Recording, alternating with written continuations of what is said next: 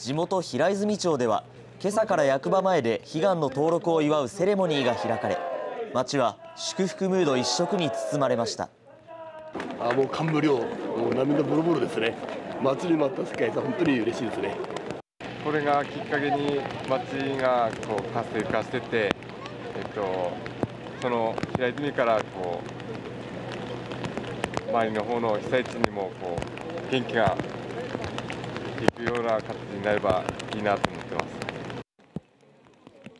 前からは来たいねって言ってたんですけども、うん、余計に世界遺産に登録されたということで、はい、思った以上にですねあの輝いててとても綺麗だなと思いました。まさか今日来た日にこういう登録の認定を受けて、